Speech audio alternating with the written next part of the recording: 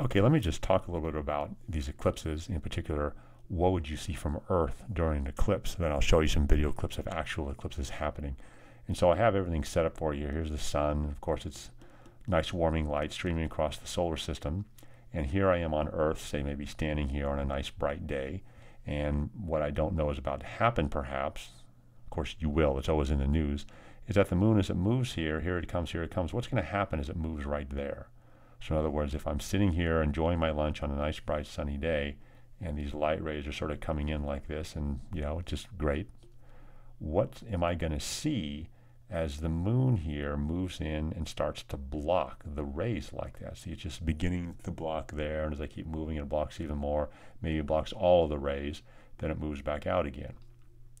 Well, what you'll see then is something that looks like this.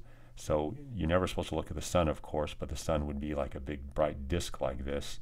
And then what would happen then, so say this is our view from the ground, you're looking up at the sun. So let me maybe draw a bit more in here. Again, I got a bunch of graphics I'll show you, which I will in just a minute, but here's maybe the ground of the earth. And then here you are standing on the earth like this, sort of looking up like that. So what you'll see as the moon, again up here, starts to move in and block these rays right here. What you'll see is you'll just begin to start seeing like a big black bite start to happen in the sun, depending on what angle it comes in at. It doesn't always have to be straight across. But for instance, you start to see this move in here. You'll start to see this round edge move in here as the moon starts to block the sun. So what are you looking at? Well, remember that the perspective here that if the moon right here starts to move in and say starts to take a bite out like that, then what begins to happen is this side of the moon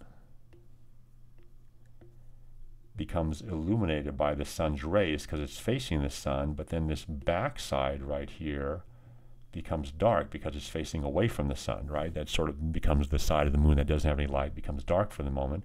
And so when you're standing here on Earth right here, looking up, you can definitely see some of the sun because some of the rays are coming by you here. But if you look into this portion of the sky, you start to see this black part of the moon getting in the way of where the sun used to be. So that's what I'm trying to draw right here.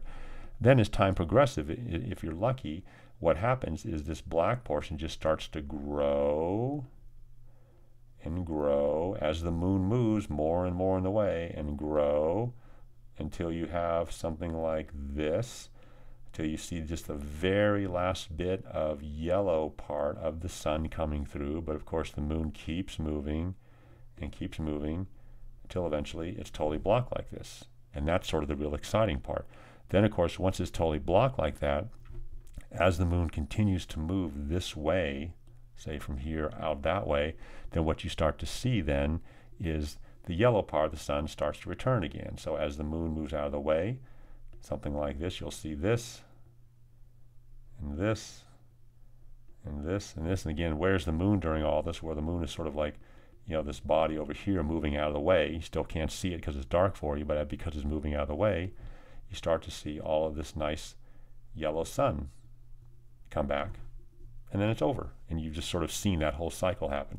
So let me show you a few actual video clips of some uh, eclipses I just pulled off of YouTube, and then I'll have some more closing comments.